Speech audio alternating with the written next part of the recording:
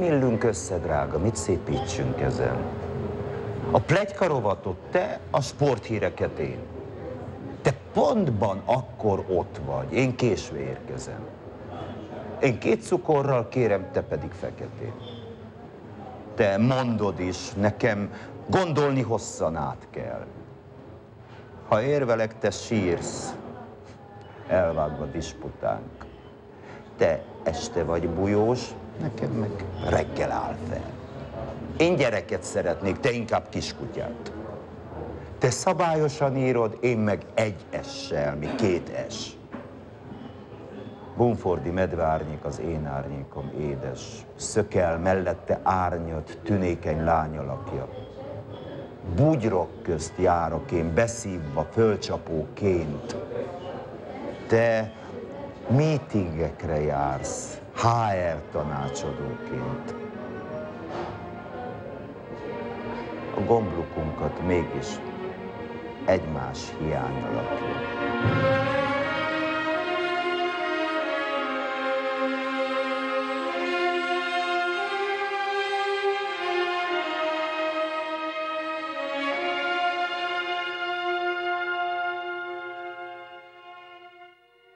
Hogyan éljük az életünket, hogy mire megöregszünk, elmondhassuk, igen, jól tettem, nem bánom, mert amikor rajtam múlott, jó döntéseket hoztam. Fontos a család és a gyermekvállalás kérdése, mert nem odázható a végtelenségig, különösen a nők életében.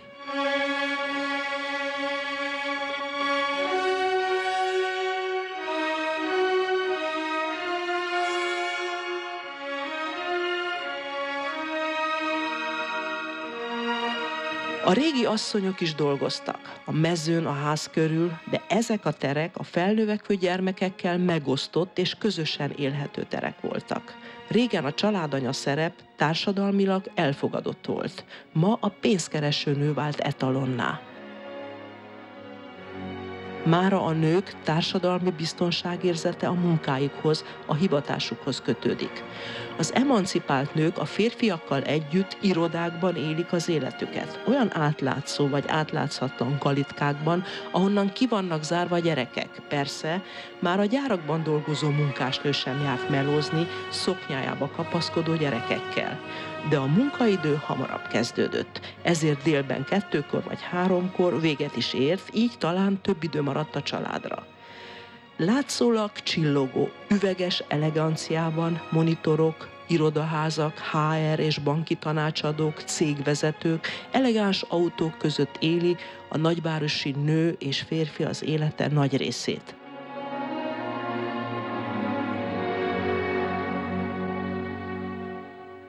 A hivatásszerűen művelt pálya egyre vonzóbb lett a 20. században, nem csak a férfiak, de a nők számára is.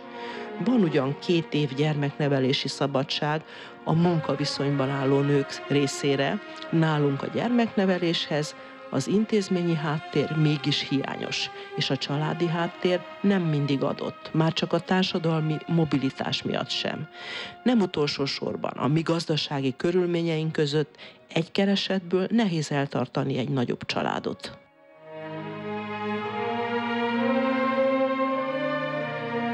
Napjainkban elsősorban a nők, de a férfiak számára is kérdés. Vállaljunk-e családot, gyermekeket?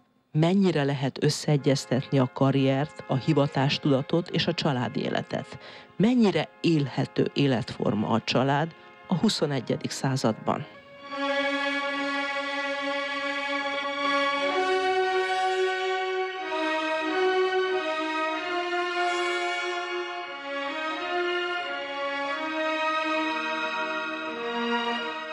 Hadd kezdjem a filozófia felől. A nagy Hegelnek az volt az álláspontja ebben a kérdésben, hogy minden ember sikeres életéhez két dologra van szükség. Az egyik a pár, pár, és a másik a pálya. Ez olyan, mint két láb. Ha mind a két láb megvan, akkor az élet szinte tökéletes lehet, de még az egyiken is meg lehet állni. Hát én azt hiszem, hogy az, valóban, ugye, hogy a nagy művészeknek az életéből is látjuk, azokból az esetekből, meg lehet élni a hivatásból és a karrierből. A kettőt azonban mindenképpen valahogyan egyeztetni kell, össze kell kapcsolni, és én azt hiszem, hogy a családban megvalósítható a férfi és a nő számára is a karrier, de rendkívüli nagy egyeztetést igényel. Ugye könnyű azt mondani, hogy itt a családban kommunikálni kell, és, és hogy van időbeosztás, és van budget. Szerintem itt egy nagyon mély dologról van szó, arról van szó, hogy vagy hagyományos értelemben fogják fel a házasságot, vagy a párkapcsolatot az emberek, ami megszab egy bizonyos közösen eltöltött időt, kötelezően eltöltött időt, vagy hosszasan egyeztetve, szerződésszerűen megbeszélik azt, hogy a karrier és a pálya mellett mennyit töltenek együtt. Mert én azt hiszem, hogy itt egy egzisztenciális kérdésről van szó alapjában véve, hogy az egyik embernek valóban szüksége van a másikra, nem csak azért, hogy mosogasson, takarítson, és így tovább, hanem azért, hogy társként, emberként mellette legyen. Na most, hogyha ezeket az időről szóló egyeztetéseket nem oldja meg a hagyomány, vagy nem oldja meg egy nagy párkapcsolati emfázis, akkor hosszasan kell beszélgetni arról, hogy mennyi időt kívánunk a másiktól, és valamilyenképpen hát ígéretre bírni a másikat, hogy ezt a közös időt be is tartja. Most én azt hiszem, hogy akkor kezdődnek a nagy kapcsolati problémák, amikor ebből a közös időből valaki kicsúszik. Az is nagyon megérthető, hogy főleg a hivatásszerűen felfogott pályának óriási a vonzereje. Óriási a vonzereje azért, mert, mert felajza az embert. A feladatok bármilyen nehezek, ugye ez is egy emberi tulajdonság, hogy probléma megoldó lények vagyunk. Szeretünk a problémáinkkal innovatív, alkotó módon szembenézni. Amikor a problémáinkat alkotó módon oldjuk meg, akkor hát alkotó emberek vagyunk, kreatívak. Ez is egy emberi szükséglet. Tehát a pálya, a hivatás szerűen művelt pálya pontosan ezek miatt a dimenziói miatt, amelyek főleg a művészértelmiségnél oly evidensek, nagyon hajlamos arra, hogy kivigye az embert a családból, és csak a hivatásában tartsa meg, ahol ő teljes értékű ember lehet pár vagy család nélkül. Nem hiszem azt, hogy pusztán a családban meg lehet oldani a család és a hivatás pálya összeegyeztetésének a kérdését. Ennek vannak külső feltételei. Nagy családi feltételei, társadalmi feltételei, és hát valamelyes beláthatósága egy családi együttes életének. Én azt hiszem, hogy ez egy generációs beláthatóság, amíg felnőnek a gyerekek. Ha egy társadalomban nincs meg az a fajta biztonságérzet, vagy a biztosíthatóságnak a feltétele, akkor nap mint nap szembe kell nézni azzal, hogy a család maga kell megteremtse ezt a biztonságot magának, ami egy újabb tehertétel, egy újabb feladat, és hát ugye a kiszolgáltatottság helyzetét jelenti. Én úgy fogalmaznék, hogy minden az egyensúly megtalálásának kérdése, és közös, közös megegyezés alapján eldöntöttük sok-sok vitával tarkítva, hogy ki hogyan osztja be az idejét, ki mennyit foglalkozik a gyerekekkel, és azt kell, hogy mondjam, hogy 5-6 év után kialakult egy olyan egyensúly, amelyben megtaláltuk a, mindketten a helyünket. Ehhez az is kellett, hogy a családon belül, kettőnk viszonyán belül, tehát eldőlt az, hogy ki szeretne, vagy ki szándékszik, úgymond aktívabb értelmiségi karriert befutni, és annak természetesen több idő, szabad idő jut, és ez a szerencsés mi, mi családunkban én vagyok. Szerintem megegyezés kérdése. Hogy tudnak megegyezni a családban? A mi kettőnk megegyezésén túl van egy még nagyobb segítség, egy mondhatni, egy családi intézményes háttér, és ez egy óriási segítség számunkra, hisz nem kell előteremtenünk az anyagiakat annak érdekében, hogy a, hát így is vannak üres idők, amikor a gyerekekkel valakinek foglalkoznia kell, hogy ezt betöltsük. Mindkét család részéről nagyszülők felől óriási segítséget kapunk, és gyakorlatilag ők délután, késő délutánig ők vigyáznak a gyerekekre, illetve ők ebédeltetik és hozzák viszik az iskolába.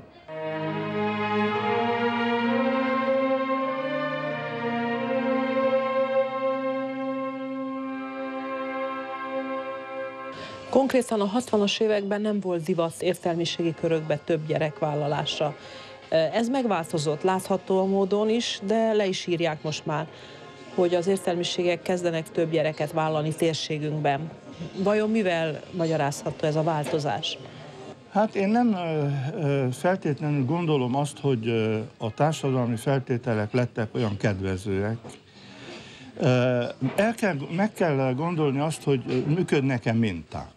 Tehát látnivaló, én is látom a környezetemben, végzett diákjainknál, és így tovább, hogy, hogy is mondjam, életképes, életszerető fiatal lányok, akik kedvel vállalnak egy-két, akár három gyereket is, hogyha a barátnőjük vagy a közvetlen környezetükben valaki vállal.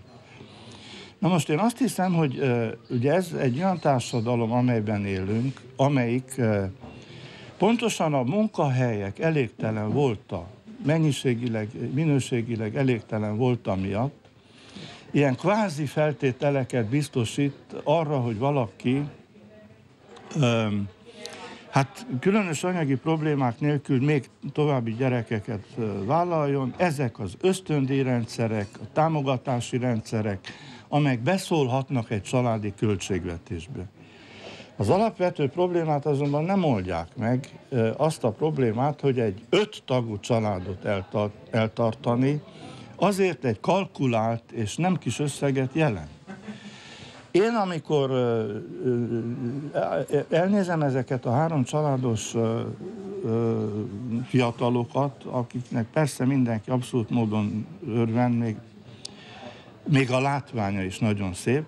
Nem látom azt, hogy mind a két ö, család, fő ugye férfi és nő, teljes értékű munkahely és megfizetett munkahely mellett hogyan fogja ezt a három gyereket, ugye a ö, majorátusig és azon tovább eljuttatni. Tehát benne, benne vagyunk a folyamatban.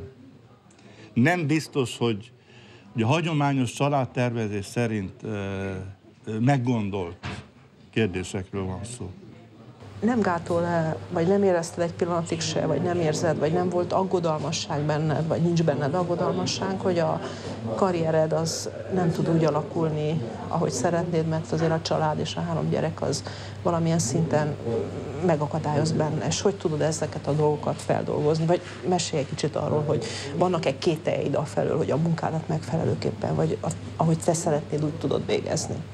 A tudományos munkára értettem. Igazából azt látom, hogy hogy jó, hogy van, van a család, tehát arról nem lehet igazából lemondani, és, és jó, hogy van, anélkül azért, hogyha lenne tudományos karrierem, azért félszeg lennék, azt látom, hogy, hogy igazából a rendszerben van a hiba, tehát fontos mind a kettő, mert hogy a gyerekek megnőnek, és ha én légüres térben élek addig, amíg ők megnőnek, akkor utána mit fogok magammal kezdeni. De azt látom, hogy igazából a rendszerben van a hiba az, hogy, hogy két évig az anyákat igazából parkolópályára teszik. Tehát nem az a problémám, hogy két évig a gyerekkel kell ülni, hanem az, hogy az állam gyakorlatilag nem ad meg semmiféle lehetőséget, hivatalos lehetőséget ahhoz, a gyerek mellett mást is csinálja, tehát gyakorlatilag törvény tiltja, hogy én pénzkereseti lehetőséget folytassak. Igazából csak hobbi szinten lehet növelni a, a az tudományos munkát, vagy bármilyen, bármilyen értelmiségi munkát, tehát pénzszerzési lehetőségre nem, nem lehet. És amennyiben nincs, nincs meg egy intézményi háttér, ami megköveteli az embertől gyereknevelési alatt teszem azt, hogy, hogy teljesítsen, hogy, hogy dolgozzon, akkor, akkor a gyerek azért ki tudja tölteni az ember 24 óráját, és észre se veszi az ember, és kisodródik ebből, és mikor visszatér dolgozni, akkor légüres térben találja magát. Nagyon nehéz visszatérni így, tehát meg lehetne próbálni egy részmunkaidős foglalkoztatottságot, vagy bármit, ami, ami arra készíti az anyákat, hogy azért csak gyerek mellett azért mást is, mást is csináljanak. Amennyiben hú, az anya úgy látja, hogy neki ez amúgy is fontos, akkor nyilván fog rá időt szakítani, függetlenül attól, milyen intézményi háttere van. De, de igazából azt látom, hogy ez a két év, amit otthon kell tölteni, vagy otthon töltünk a gyerekkel, teljesen, tehát utána már nagyon nehéz visszatérni. És ha lehet, ha visszatér az ember, akkor, akkor tudomásul kell venni, és azt hiszem, hogy bele kell törődni abba, hogy ugyanolyan intenzitással, ugyanolyan hőfokon ezt már, ezt már nem lehet. Miért nem lehet? De mi a gond? Tulajdonképpen mi történik? Hát kiesik? Ki, kiesik, legalábbis az én szakmámból mindenképpen kiesik, tehát nincs ott rendezvényeken, nincs ott konferenciákon, nem publikál annyit, amennyit kell, nem tud könyvtárba járni reggeltől estig, ahogy szeretné. Ugyanakkor nyilván nincs jelen, tehát a jelenlét hiánya az, hogy teljesen kiszakad ebből a társadalmi közegből, ez mindenképpen nagyon nehéz visszatérni. Másrészt pedig az, hogy utána a gyerek, az egy, meg kell oldani a gyereknek a, a helyzetét. Ha nincs, nincs itt Kolozsváron legalábbis, nincsenek intézményi hátterek, hogy, hogy a gyereket elhelyezzem. És ez meg a család sincsen? Nincs a család sincs, és nincs magyar nyelvű intézményi háttér. Óvodában nem veszik be csak három éves kortól, vagy kettő és fél miután szobatiszta meg kell oldani, hogy elmenjen óvodába, hazajöjjön, orvoshoz stb. Tehát az, embernek az idejének a jelentős részét lefoglalja, és akkor meg kell próbálni a többit bezsúfolni abban a maradékban, ami még, még fent áll. Ezt őszinte beszédnek érzem, mert természetesen, hogy mindenki örül, és, és, és az egy nagyon megbecsülendő dolog, hogyha gyerekek vállalnak az emberek, viszont azért ez hozzátartozik, ezt kell tudni, ezt lehet, hogy nem mindenkinek világos, és nem mindenki tudja. Mert hogyha nem tudja, és akkor szembesül vele, mint már a gyerekek megvannak, hogy ja Istenem, maradok le a pályáról, vagy a karrieremet nem tudom úgy építeni, akkor esetleg rossz érzései vannak, és az továbbra már a családnak se jó, hogyha úgy indul naponta munkába, vagy hetente eszébe jut, hogy én most többet kéne teljesítsek, vagy szeretnék teljesíteni a társadalomba, és, és ezt ebben engem megakadályoz a család. Tehát ezért gondolom, hogy ez egy, ez egy világos beszéd, hogy, hogy azért nézzünk szembe azzal, ezt választottuk, akkor így van. Én nem hiszem, hogy legalábbis nem tudok olyan emberről, aki tudta volna, hogy mit vállal, amikor gyereket vállal, hiszen a puding próbálja az evés. Most a korosztályodról beszélsz? Az én korosztályomról beszélek. Én nem tudtam, hogy ez ezzel fog járni őszintén szóval, de hogyha tudom is, lehet, hogy ugyanígy alakul az életünk mert hogy, mert hogy őket nem lehet pótolni, de, de én a mai napig szembesülök ezzel a problémával, és ezt mindenki egyénre szabottan kell megoldja, hogy hogy tudja ezt a dilemmát megoldani. Nem mindenkinek van szüksége arra, vagy nem olyan típusú a munkahelye, hogy hogy ezt a kiesést így érzékel, vagy ennyire, ennyire élesen kél, tevődjön fel a helyzet. Az én helyzetemben én azt, azt látom, hogy, hogy bizonyos dolgokról le kell mondanom, illetve tudomásul kell venni azt, hogy nem tudok olyan hőfokon teljesíteni, kész. Tehát, hogy, hogy sok mindent szeretnék, de nem fér bele az időmbe, és akkor, akkor ezt, ezt a dilemmát fel, meg kell próbálni feloldani. Anélkül, hogy a, hogy a, a család rovására menjen. Tehát a gyerekek se érezzék azt, hogy anya most azért dühös, mert nem tud leülni és dolgozni. Az anya se érezze azt, hogy a gyerek teher legyen. Ezt mindenki egyénre szabottan meg kell tudja, meg kell próbálja megoldani. Néhol sikerül, néhol nem. És hogy képzelted el te a az életedet mondjuk ezzel tíz évvel? De mindenképpen szerettem volna, szerettem volna a gyereket, az, hogy három, azt, azt, nem, azt nem képzeltem, azt gondoltam, hogy lesz úgy kettő, legalább egy gyerek, nem gyerek, azt mondják Székelyföldön, úgyhogy úgy, hogy egy gyerekben nem is gondolkodtunk. Az, hogy három, az, ez így, így alakul, de, de nem hiszem, hogy kettő vagy három, ez már igazából módosítana. Tehát ugyanúgy ott van a kettő is, mint a három. Ugyanúgy meg kell szervezni az életüket. És ha valakinek művészi ambíciói vannak, akkor azt hogy tudja összeegyeztetni a családdal? Tehát azért nálatok is két értelmiségi alkotó ember nevel három gyereket, úgyhogy a család nincs, hogy az intézményi rendszer nincs rendesen kialakítva, hogy ez akkor mondjuk a rád a több dolog, vagy a férjedre is, vagy ő is tud vállalni a családból, tehát ez hogy, hogy tud megoszlani? Hát nyilván a human értelmiségi munka ma Erdélyben azt jelenti, hogy nem lehet egy keresetből megélni, tehát mind a, mind a ketten próbálunk többfele dolgozni, többfele írni, alkotni, hogy, hogy, hogy, hogy lehessen nyugodtan élni. Akinek ideje van, vállalja a gyerekeket. Ez igazából nekem nyilván több időm van, rám hárul a, a meg hogy én is ültem a gyerekek mellett két évet, tehát már ez már eleve adja az, hogy én, én, én intézem a gyakorlatiasabb részét. Ez igazából helyzetfüggő. Egy ilyen feltevés, hogyha lehetne lehetőséged, Zsuzsa, hogy otthon maradj, és teljesen kiszállj a munkából, és csak a gyerekeket nevelnéd, például annyi jövedelme lenne a férjednek, tegyük fel, vagy mit tudom én, megengedhetnétek magadnak anyagilag, akkor megtennéd, de hogy kimaradsz. Miért? Mert hogy ez igazából az embernek azt hiszem a természetes igénye az, hogy a gyerek mellett van más is. Tehát, hogy, hogy el kell tudni olvasni egy könyvet, miközben ott a gyerek. Tehát, hogy én, én mind a három gyerek mellett folyamatosan nem az, hogy dolgoztam, bár dolgoztam is, de, de, de azért nem mondtam le arról, hogy, hogy kövessem, hogy mi jelenik meg a szépirodalmi piacon. El is olvasom, ami, amit meg tudok vásárolni. De ez, ez szerintem az embernek a természetes igénye, és ha ez az igény megvan, akkor, akkor, akkor teret és időt szán ha más nem éjszaka, hogy olvasson és gondolkodjék ezekről a dolgokról. És gyakorlatilag hogy oldódik meg a történet? Babysitter van, vagy hogy, hogy segítség, vagy ja, pénzért Igen, pénzért fogadunk. Hát, hogyha ha vannak nyugat-európai államok, amelyek nem teszik lehetővé az anyának, hogy két, hét, két évig otthon üljön a gyerekek mellett, viszont olyan intézményi hálót biztosítanak, amivel fent, fent tudják tartani. Az, hogy az anyuka dolgozik is, de a gyerek mellett van. Nálunk nem, nálunk két évig fizeti az állam, hogy az anyuka otthon maradjon, és utána mindenki megoldja úgy, ahogy tudja. Adhattam volna a bölcsődébe is, tehát adva van a lehetőségnek, hazudnék, ha azt mondanám, hogy nem nyílt épp az idéntől, azt hiszem magyar nyelvű bölcsőde, de, de úgy gondolom, hogy nekik még egy évet nyugodtan otthon lehet ülni, ennek anyagi vonzatai vannak, mi úgy döntöttünk, ez a mi döntésünk volt, mindenki maga dönti el, hogy mit, mit tud megengedni. Mi úgy döntöttünk, hogy gyerekek babysitterrel maradnak, mert a nagyszülők azok messze vannak és dolgoznak. A tévéhez leültünk megnézni azt a filmet, miről a műsorújság megírta, hogy nagyon sok vér fog majd folyni benne. Mind a ketten örültünk, mert szeretjük a filmeket, amikben nagyon sok vér folyik. Te két fázós lábad akkor pólóm alá bedugtad, kis talpad ráhelyezted, kövér meleg hasamra, úgy néztük ezt a filmet. Pisztáciát is ettünk. De gyorsan elfogyott, és fél óra múlva kb. szép, szőkített fejecskéd a melkasomra tetted. Én kicsi hátradőltem, a vállad átkaroltam, és elnyomott az álom. Most arra ébredek fel, hogy vége már a filmnek, a farpofák sajognak, jól elzsibbadt a lábam, és el van gémberedve a vállam is rohadtul. Fejem nem dönthetem meg, nincsen mögötte támasz.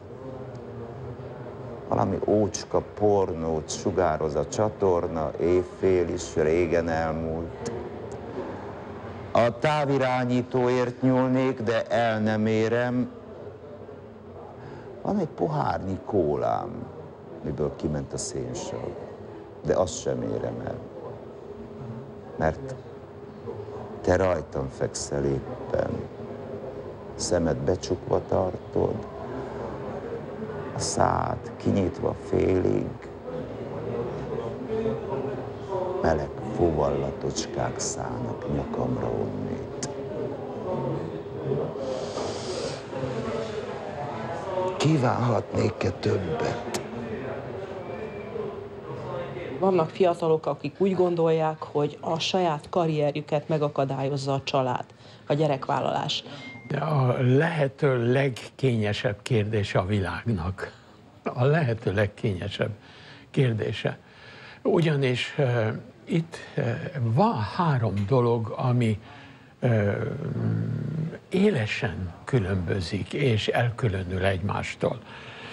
Miközben ide jöttem és a zsebembe kutatgattam, ott találtam ilyen ilyen szórólapokat, amik épp most érkeztek be, itt pár aláírással.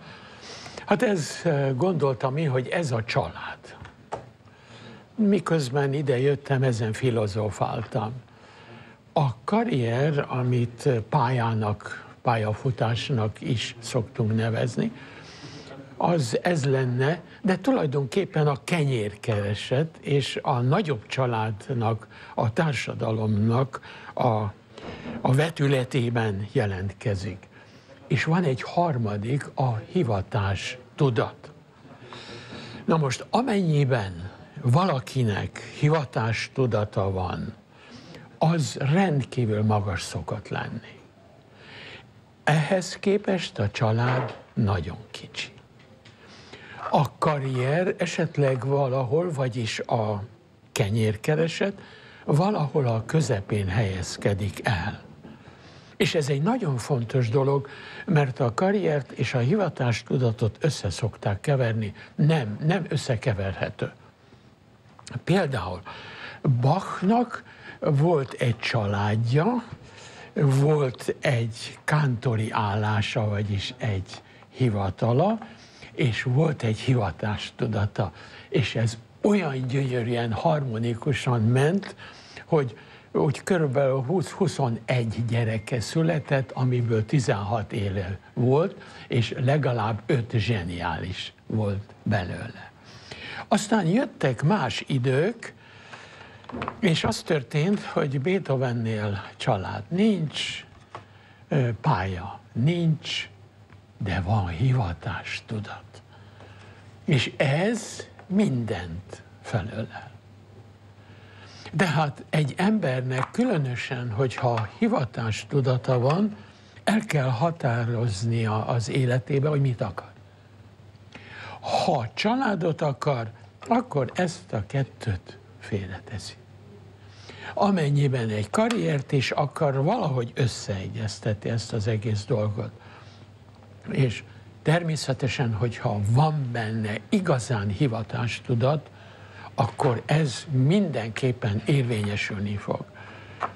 Az saját életemben én egy párhuzamot hoztam létre, és pedig úgy, hogy egymás mellé tettem őket, és párhuzamosan vittem végig az életemet. Mind a háromra nagyon odafigyeltem. Ez volt a családom, ez volt a tanári pályafutásom, és ez volt az az 50 kötetnyi kompozíció, ami megszületett és kötetben előttem áll. Meggyőződésem, hogy akinek igazából hivatástudata van, az itt ebben a kávéházban is megír egy olyan verset, mint Adi körülbelül több százat írt a kávéházba, miközben zajonganak itt, zajonganak ott, isznak fekete kávét, nevetgélnek, minden történik körülöttük. Imádom eh, Puccinit, a zenéjét is, de legfőképpen azt a nonchalance megoldását, hogy csak akkor tudod komponálni, ha a barátok körülötte ittak, zajongtak, cigarettáztak, szivaroztak, és ami, ami csak lehetséges, mindent elkövettek. A legszebb dalamai, a legszebb akkordjai a bohém életbe és a többibe is akkor születtek meg. Én ezt a fajta típus csodálom, és szerettem volna utánozni, nem lehet. Egyedi volt, Puccini ebben is egyedi volt. Úgyhogy ha majd mások is most ezután meghallgassák mm, Puccini műveit, gondoljanak arra, hogy egy jó szivar volt a szájába, egy finom zongora keze alatt Erhard Bianinot bérelt, és ott a pillangó kisasszonyt, a Toszkát, a bohém életet és a Torándotot ott megkomponálta. Na, ez az igazi hivatástudat. Azt írom meg most egy SMS-be, hogy beléd vagyok, kedves mesre. Vágyak dobálnak, kivetnek, billentyű zárát old ki szívednek.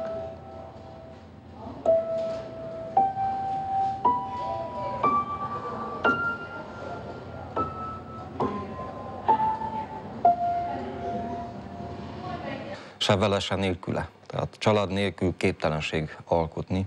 Egy idő után, hát miről írjon az ember? Mert hogy ha nincs család, nincsen akihez kötődni, nincsen, nincsenek uh, uh, ilyen referenciapontok, amelyek uh, elválasztják a, a semmitől az alkotót, akkor nincsen mit, uh, miről beszélni. Uh, ugyanakkor, hát nekem három uh, kicsi gyermekem van, kicsi leányom, uh, 7-6 és egy évesek, nagyon nehéz emellett megtalálni azokat a perceket, amikor az ember nyugodtan írhat. Én azt szoktam csinálni, hogy felkelek 4 órakor, és aztán 7 óráig csend van, akkor dolgozom. Hát a család az inspiráló is és gátló is. Bizonyos szempontból inspiráló, a másik szempontból gátló. Hát olyan csak akkor tudok én írni például, amikor a családom nincsen otthon. Tehát a délelőtti órákat maximálisan erre kell fordítanom addig, amíg az iskolában van mindenki. Feleségem, gyerekeim, tanár és egy iskolába járnak. Amikor otthon vannak, már az, a nyugalom már nincsen, meg jövés, menés van, nincs egy olyan külön szoba, ahol el lehet, de ha külön szoba van, akkor se lehet ezt úgy maximum. Esetleg éjjel, vagy késő éjjel lehet ezeket az, ezeket az órákat erre fordítani. Ilyen szempontból ugye gátló, Másik szempontból pedig hát jó, hogy vannak, és hát ott érzed magad körül, ott van az aurájuk, ott van az mozgó emberek, és hát egy sok energiát adnak, és feltöltik az embert. Szerintem egyszerűen keretet és lehetőséget ad. Hogyha nagyon szőrszálhasogatóak vagyunk, akkor lehet, hogy ö, úgymond ö, hasznos időt von el, de hát a zero embert sem kell úgy képzelni, hogy folyamatosan egyébként ott ülni a papírlap előtt és mindegyiket besötétíteni. Úgyhogy a családos embernek is szerintem megvan az az idő, amit írásra tudsz szánni, és a család az annyi élményt egyszerűen keretet ad ennek is, hogy írás. Úgyhogy szerintem a családos ember többet, vagy jobbat tud dolgozni. Van olyan felfogás, ezt, ezzel még gyerekkoromban szembesültem, és furcsálottam is egy kicsit, hogy az ember vagy könyveket csinál, vagy gyerekeket. Tehát ez így konkrétan elhangzott, azt hiszem az egyik filmben hallottam, és emlékszem, hogy már akkor úgy melbevágott, hogy hogy miért van ez a kettő szembeállítva. Tehát feltételezem, hogy van, tehát egyéni alkattól is függ. Van olyan ember, aki számára valóban a család az egy gátat jelenthet az alkotásba, a másik számára pedig éppen, hogy kiteljesedés, mert ugye a család azért olyan témákat hoz be az életbe, amit egy kívülálló egyébként soha nem ismerne meg. Tehát számtalan példát lehetne mondani, mit tudom, vajon Laszkfi János költészete így nézne -e ki, hogyha nem lenne négy vagy öt gyerekem, nem is tudom pontosan. Aztán, amikor én is szembesültem ezzel a kérdéssel, ugye eljön a nősülésnek az ideje, akkor már számomra világos volt, hogy ez nem vagy-vagy alternatíva, mert hogy azért rájöttem bármennyire is a 90-es évek elején abban a felszabadultságban, meg eufóriában azt gondoltuk, hogy minden a szabadság, hogy jöjjünk, menjünk, információkat gyűjtsünk, járjuk a nagyvilágot, csináljuk azt, ami éppen eszünkbe jut. Azért, amikor az embernek bennő a fejelágya, azért mégiscsak rájön arra az alapigasságra, hogy a társadalom alapsejtje a család. Tehát ha nincs egy olyan bázis, ahol a hétköznapi magánéletedet eltöltheted, akkor nem könnyű az élet. Arról nem is szólva, hogy a gyerek, ugye nekem most már három van, az egy olyan élmény, amit ez olyan, mint a szerelem, hogy nem lehet elmagyarázni, csak azt tudja, akinek van gyereke. Hogy amikor hazamegyek, és akkor jönnek a problémáikkal, azok jelentik a nap legfelszabadultabb pillanatait, amikor velük beszélgetek. Úgyhogy én ezt tudatosan vállaltam, azt belátom, hogy ha összevetjük a rendelkezésre álló időt, a, ugye, akkor az kétségtelen, hogy kevesebb idő jut az alkotásra. de én azt mondom, hogy megéri, és nem a család életében ez az időigényesség ez nem egyenletesen jelentkezik. Tehát van egy időszak, nyilván egy kezdeti időszak, amikor sokkal inkább jelen kell lenni az ő életükben, és aztán utána ez a szorítás azért némiképp enyhül, és talán akkor lehet majd kamatoztatni azokat az élményeket, amelyek időközben összegyűltek.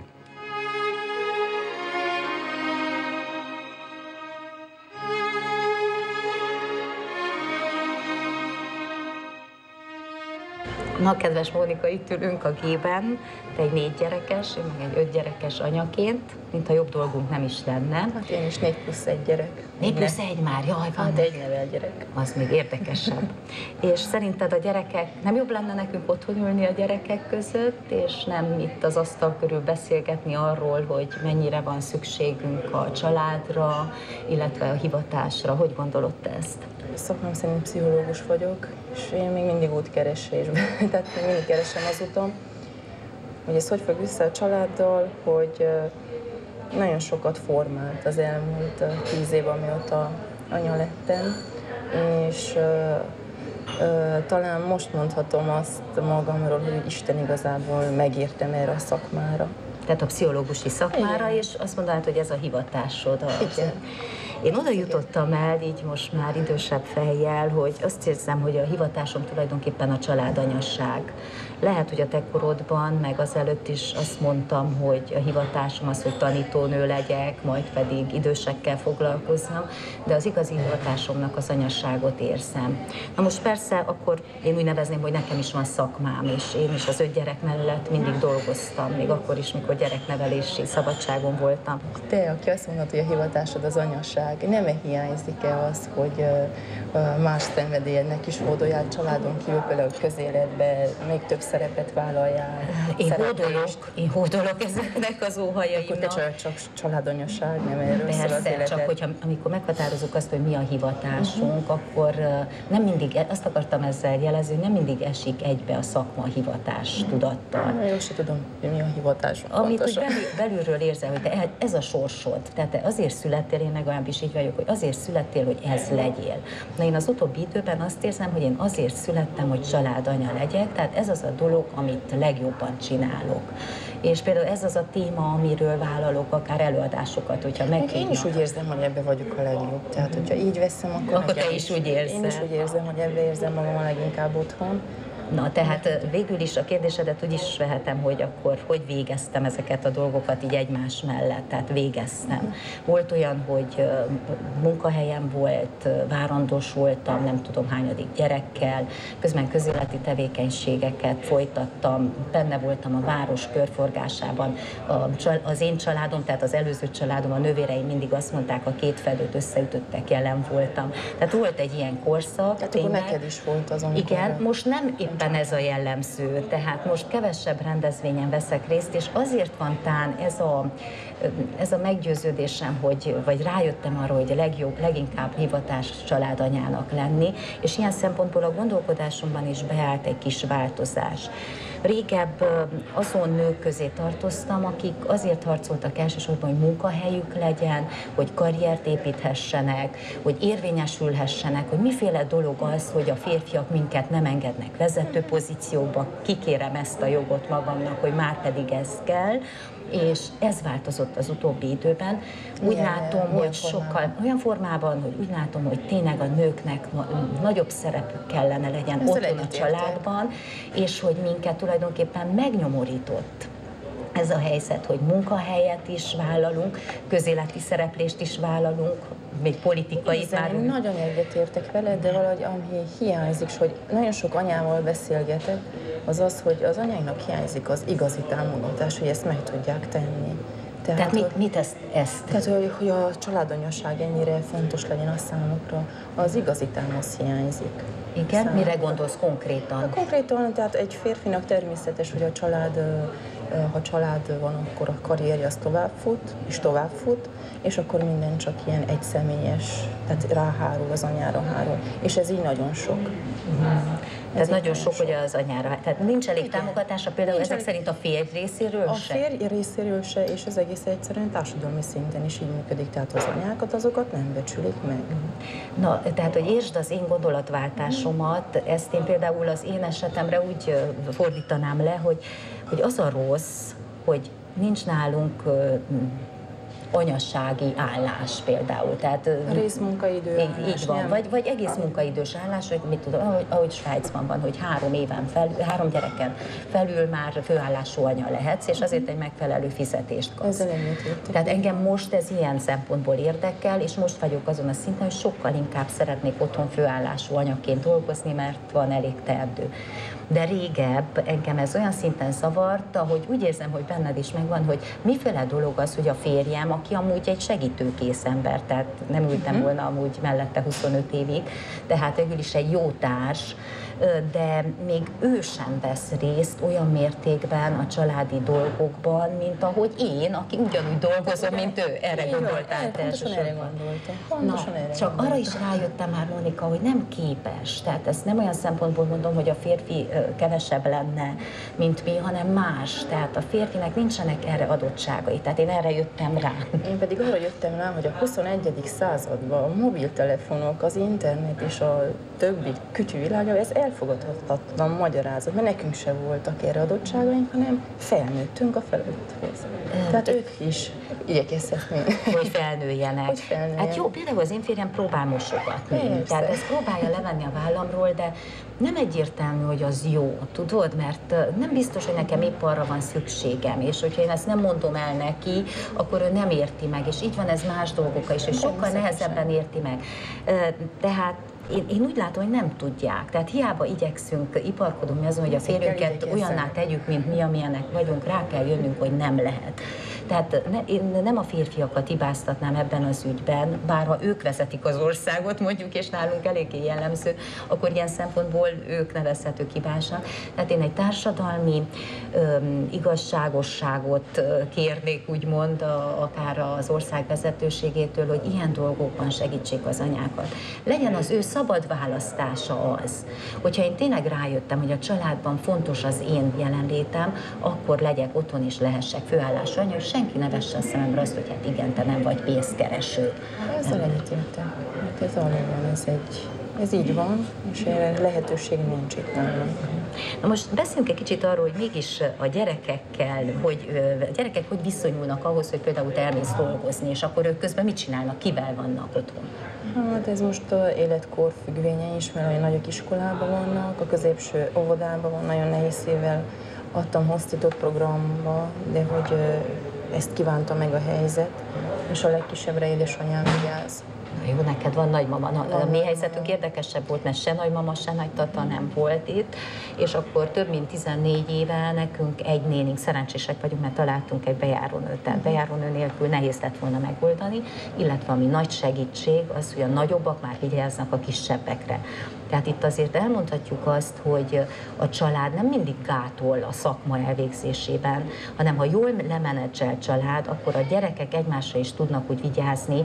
Régebb is dolgoztak a nők, ha nem volt munkahelyük, akkor is, mert falun is kimentek a mezőre, és ugyanúgy is kapáltak. dolgozunk, és, nem csak- és persze is a teheneket rendezték, takarítunk, mindent elvégzünk, de egy jó menedzselés, tehát egy nő otthon is ezeket a dolgokat meg kell szervezze, hogy a család egyik hogy Működik, vigyázz a másikra. Ez egyértelmű. Tehát az- azt Főleg azért- egy nagy család esetében nagyon fontos. Tehát hogy- el kell mondani, hogy mi képesek vagyunk rá, mert sokszor azt kérdezik, hogy képes vagy négy vagy öt gyermek mellett még dolgozni, és tehát képesek vagyunk, csak az a kérdés, hogy olyan érdemes Én azt gondolom, hogy igen, én képes vagyok, de ez nem azt jelenti, hogy, hogy mindenkinek ez kell legyen az útja, mert hogy az, hogyha valakinek kettőnél több gyereke van, három, négy, hát az már valami nagyon nagy dolognak számít. Én mindig azt szoktam mondani, hogy ez az én utam, én ennyit bírok meg, de nem, ez nem példa kell legyen mások számára. Mindenkinek az a fontos, hogy a saját útját járja.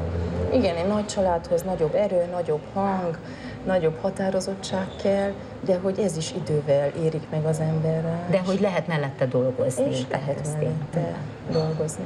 Te érezted-e valaha azt, hogy a család gátol a szakmában téged? Hát hat évet estem ki a szakmámból, amiatt, hogy gyereknevelési szabadságon voltam, de én úgy érzem, hogy bár ez alatt, az idő alatt nem dolgoztam, mégis nagyon sokat fejlődtem, tehát személyiség érés szempontjából hatalmasat léptem erre, előre, és ez valahol kompenzálja azt, hogy én hat évre kiestem.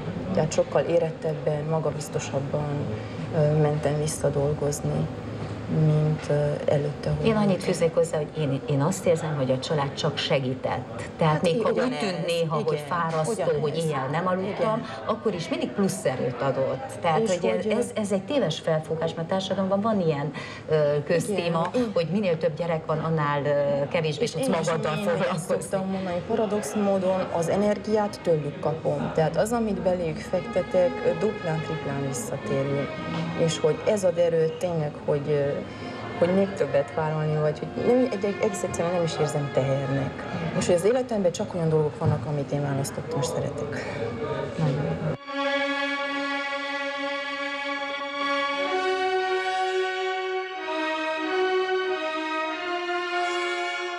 Mi speciális helyzetben vagyunk, nekünk modellértékű a nagy család, vagy pedig van ebbe valami, hogy most már úgy vagyunk trendiek, ha nem szaporítjuk tovább, tovább ezt a mindent felzabáló emberiséget. Én szerintem egy speciális helyzetben vagyunk azért, mert egy speciális helyzetben juttattuk magunkat. Tehát